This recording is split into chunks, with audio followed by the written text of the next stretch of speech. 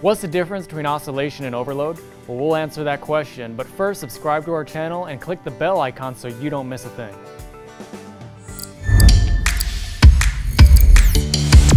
My name is Dan with WeBoost, and we're gonna go over the differences between oscillation and overload.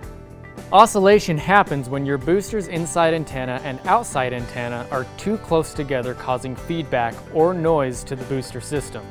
This is like when you bring a microphone too close to a speaker and you get that loud feedback noise.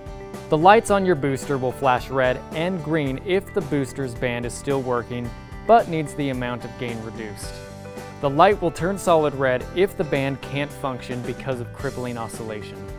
While oscillation has to do with interference between the inside and outside antennas, overload is when the outside signal is too strong and the booster adjusts by lessening its gain.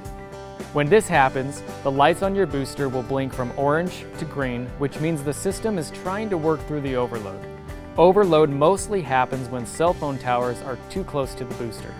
Do you have any questions? Let us know if you do in the comments below and don't forget to subscribe to our channel where you see new videos like this every week.